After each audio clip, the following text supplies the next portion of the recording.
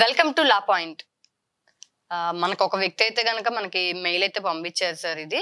శ్రీకాకుళం నుంచి అయితే మనకి మెయిల్ వస్తుంది. ఆయన పేరు వచ్చేసి ఎంబి రెడ్డి అంట. సో ఆయనకి రెండు వేల పద్నాలుగులో పెళ్ళయింది. వాళ్ళ అక్క కూతురునే పెళ్ళి చేసుకున్నాడంట. ఓకే అక్కడికి బాగానే ఉంది.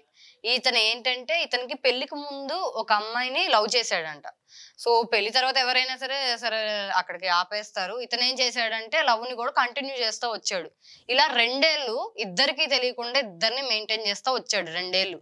రెండేళ్ళ తర్వాత ఏమైందంటే ఇక తెలిసిపోయింది.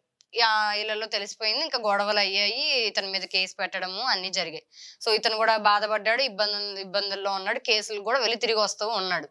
అయిపోయింది. అయితే వాళ్ళ వైఫ్ ఇంక ఇతనితో ఉండలేక నాలుగేళ్ళు పుట్టింటికి వెళ్ళిపోయింది.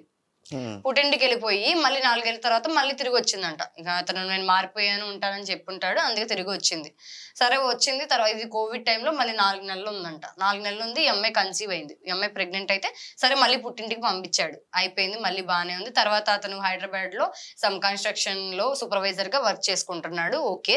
వీళ్ళకొక ఒక బాబు పుట్టాడు. ఇప్పుడు అంతా బాగానే ఉంది. ఆ తర్వాత అక్కడ ఒక వ్యక్తి పరిచయం అయ్యాడంట ఇతనికి.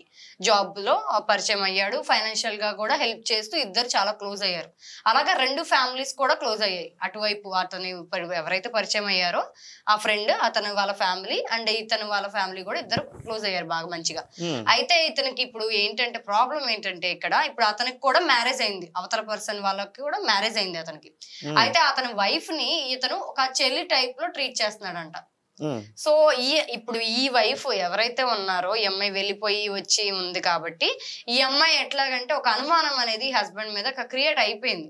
సో ఇంకా ఆ వేలోనే ఈ అబ్బాయిని చూస్తూ సో నువ్వు కూడా ఈ అమ్మాయిని అలాగే చేస్తున్నావు ఆ వేలోనే చూస్తున్నావు నువ్వు సిస్టర్గా అయితే చూడట్లేదు అని చెప్పేసి ఈ అబ్బాయి మీద టార్చర్ చేయడం స్టార్ట్ చేసింది.